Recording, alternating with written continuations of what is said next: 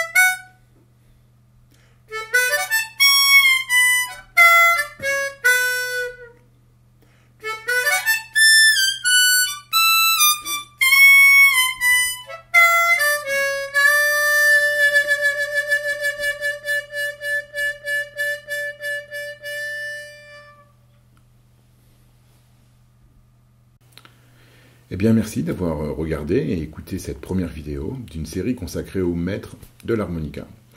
Euh, puis un grand merci à Michel Herblin, notre sculpteur de courant d'air national, pour toutes ces magnifiques sculptures musicales. Euh, vous pouvez aussi écouter Michel jouer Gadget Boogie en allant sur son site MySpace. Thank you for having a look at this um, first video of a series uh, dedicated to the masters of harmonica. And a big thanks uh, to uh, the great French art player Michel Herblin for all his wonderful music. Uh, voilà, amusez-vous bien. Have a good time. Bye, see you.